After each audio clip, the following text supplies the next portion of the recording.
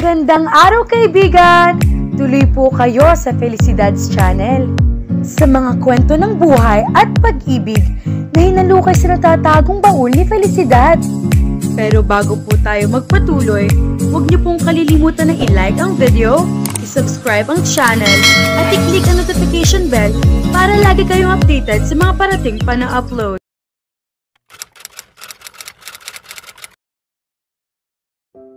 Mag-iingat kayo ah. Sinundan ni Nikita ng tingin ang limang batang kasakasama ni Malakay. Naglalakad ng mga ito palayo at mukhang masayang masaya ang mga paslit dahil ipapasyal ng lalaki ang mga ito sa mall. Medyo malayo ang mall na pupuntahan ng mga ito pero hindi na niya kinontra pa ang desisyon ng binata. Ayaw niya rin namang maging boring ang summer ng mga to. Napapuntong hininga siya bago isinara ang gate. Matamlay siyang pumasok ng kabahayan. Nagpresinta siyang magpaiwan dahil walang magbabantay sa bahay ng tita Shari niya. Hanggang ngayon ay hindi pa rin ito umuwi. Kung nasa ang lupalop na ba ito ay hindi niya alam. Wala pa siyang balita tungkol dito. Hindi rin ito tumatawag kahit pa alam nito ang number niya. Pinagsisisihan niya na iniwan niya sa condo unit ang laptop niya. Birthday niya ngayon. Gusto niya sanang basahin ang mga pagbati ng mga fans niya at ng mga kasamahan niya sa trabaho.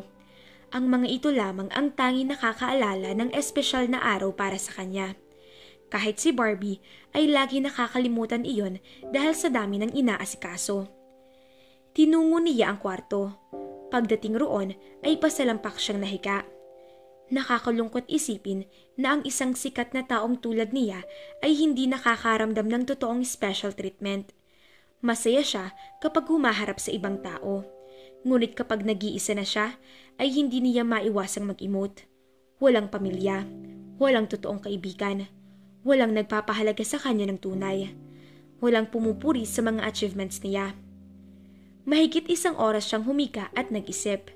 Masakit ng ulo niya, ngunit wala siyang pakialam. Kahit na masira pa ang mukha niya, o malaos siyang modelo o tanggihan na ng Bello Medical Group na ayusin ang imperfections sa mukha niya, wala pa rin siyang pakialam. Ngayon niya lamang naisip na wala rin palang silbi ang mga pangarap niya. Kahit gaano pa siya maging successful sa buhay, ay mananatili pa rin siyang loner. Patayo na sana siya nang bigla siyang makarinig ng kaluskos. Bigla siyang nakaramdam ng kaba. Wala naman siyang ibang pinapapasok sa loob ng bahay, kundi si Malakay imposible naman bumalik ito. Kung babalik man ito, ay siguradong maririnig niya ang ingay ng mga bata. Huwag naman sanang...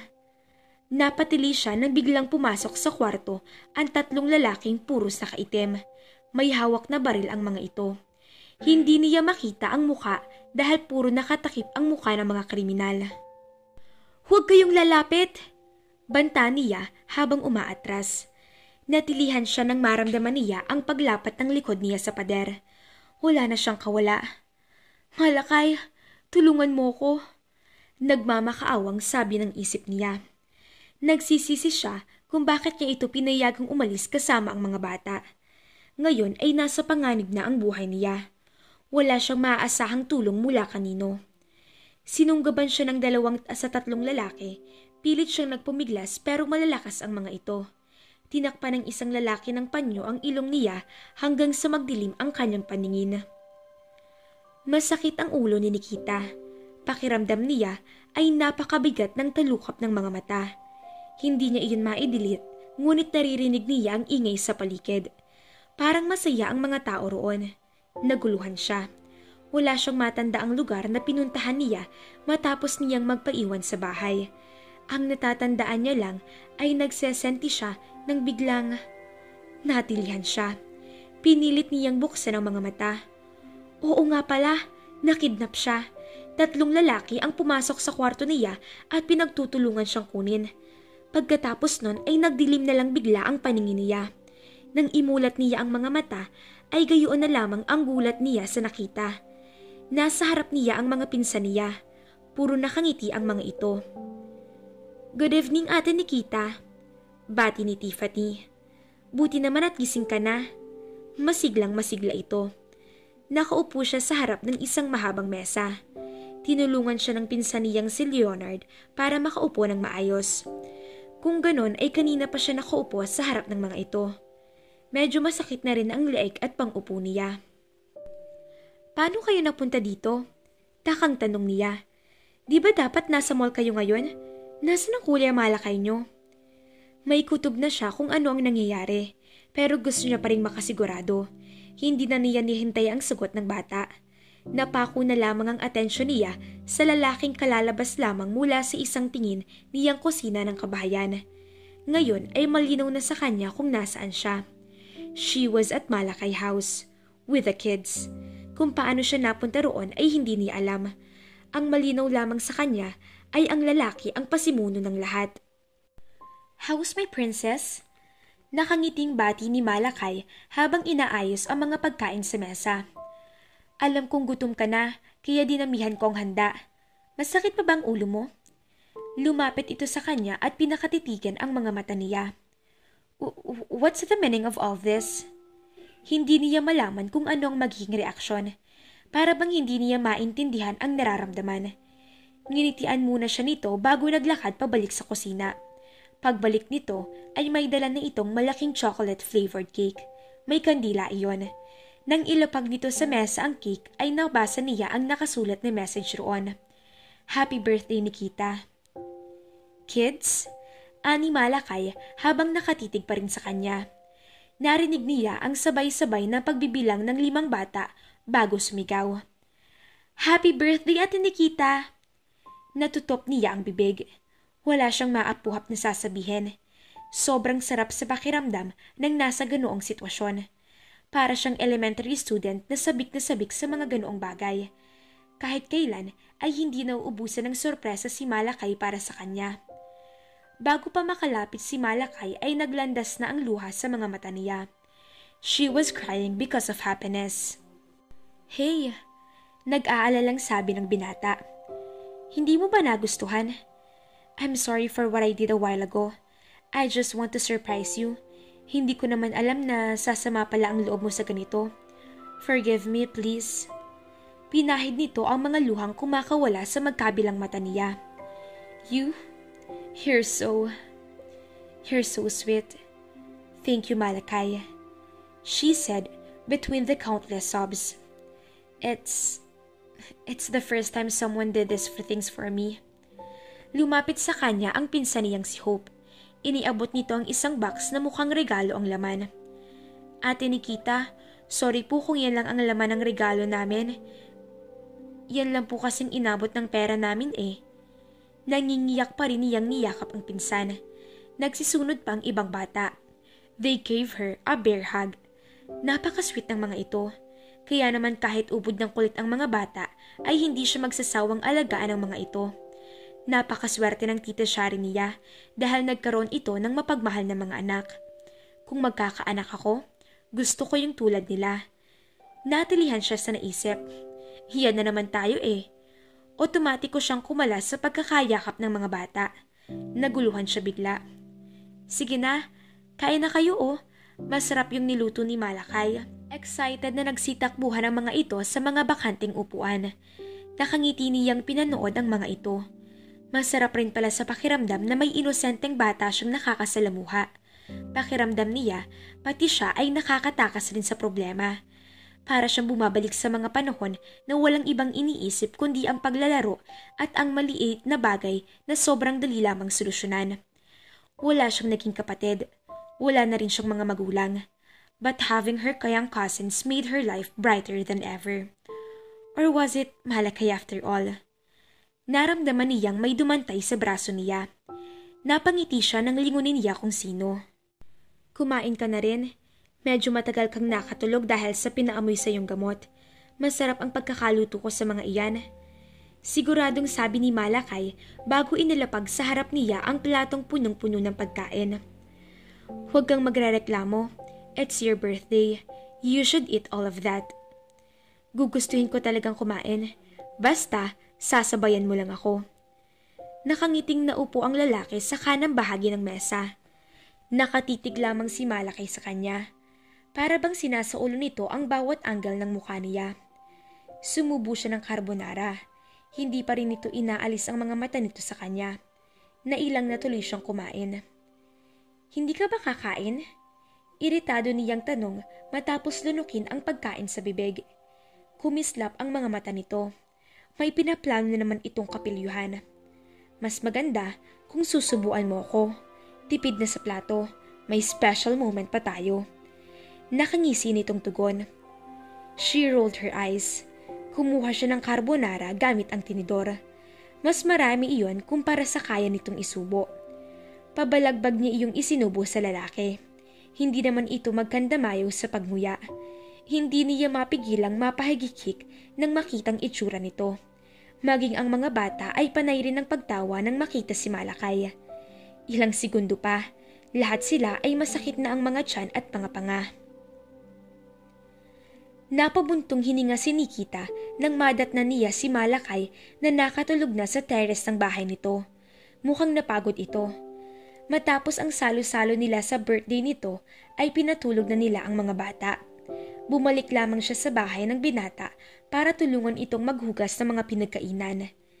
Nakabukas ang gate nito kaya hindi na siya nag-abala pang tawagin. Naabutan niyang malinis na ang mesang pinagkainan. Nakabukas ang gate nito kaya hindi na siya nag-abala pang tawagin ito. Naabutan niyang malinis na ang mesang pinagkainan nila. Nang sitipati niya ang kusina, ay nakita niyang nahugasan na lahat ang mga utensils doon. Naupo siya sa tabi nito. Tahimik lang itong natutulog. She couldn't help but to smile. Napakagwapo nito kahit natutulog. He is like an angel descended from heaven. Ang tipo nito ang pinapangarap ng mga kababaihan. Sweet, thoughtful, gentleman, etc. Lahat na yata ay taglay nito.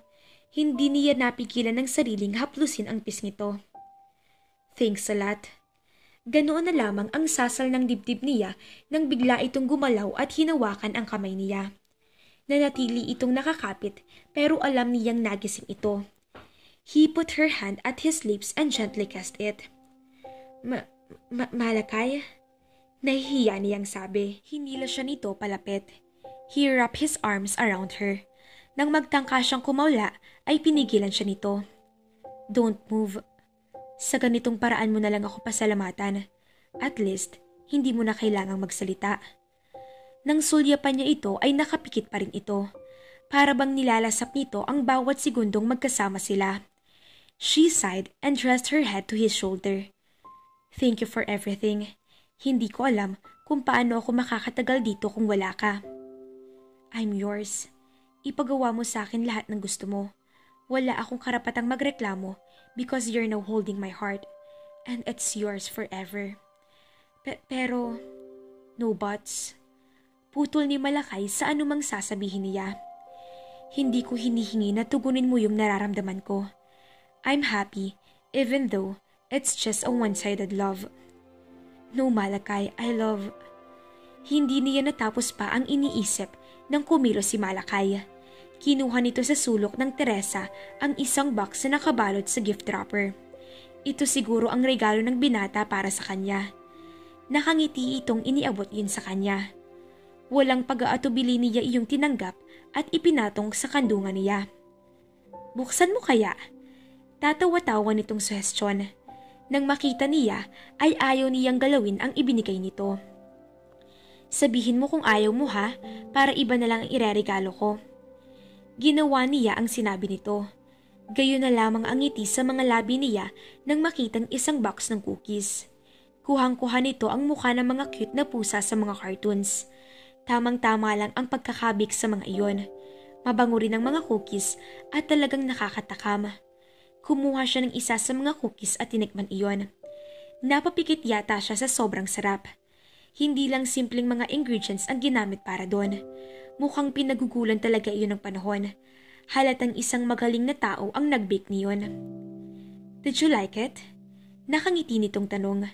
Inakbayan siya nito muli, ngunit hindi na siya nagprotesta. Masyado siyang na-distract sa sarap ng cookies. Ikaw ang nag-bake nito? Grabe, ang sarap. Napatahimik siya nang maalala ang figure niya. Marahas niyang binalingan ang nakangiti pa rin si Malakay. Parang inaasahan na nito ang magiging reaksyon. Tell me, tumaba na ba ako? Napahagalpak ng tawa ang lalaki. Ilang segundo pa niya itong hinintay bago ito nakasagot. Actually, medyo. Pero pwede ka pa rin namang maging model. Hindi pa naman masyadong lumolobo yung katawan mo. A aray! Pinagpapalo niya na ito sa braso. Hay naku malakay, ginawa mo kong baboy. Langhiya ka talaga. Pag ako nawala ng projects and commercials, ikaw ang magpapakain at bubuhay sa akin. Sira ulo ka, nakakainis ka. I hate you, I hate... Hinawakan nito ang magkabila niyang braso. Walang pasabing inilapat ni Malakay ang mga labi nito sa labi niya. Otomatiko siyang napapikit dahil sa init ng halik nito. He started to move his lips against hers. At sa bawat galaw niyon ay parang nabubura ang lahat ng memorya niya. Nabitawan niya ang box ng cookies na iniregalo nito. She was starting to enjoy the feeling. Unti-unti ay nasasabayan niya na ang galaw ng mga labi nito. When she slightly parted her lips, Malakay grabbed the opportunity to taste her mouth with his tongue. He is an expert kisser. Habang patagal ng patagal ay mas lumalalim ang halik na namamagitan sa kanila. Umiinit ang pakiramdam niya. Naramdaman niya ang paglalakbay ng kamay nito patungo sa iba't ibang parte ng kanyang katawan. Nang kumawala ang isang ungol mula sa mga labi niya ay para siyang natauhan. Ubod lakas niyang itinulak palayo ang lalaki. Tila nagulat rin ito. Hindi niya magawang tingnan ito sa mga mata. Ma- ma- malito. Nagmamadali niyang nilisan ang bahay ng lalaki. Gaga ka, Nikita. Ang landi mo talaga. Sermon ng isip niya. Hay naku mga kafelisidad, talagang hindi pa yata talagang ready si Nikita na pumasok sa isang relasyon. Dahil kahit madami ng senyales na may gusto rin siya sa binata, ay talagang pilit niyang sunusupil dahil madami siyang pangarap. Abangan!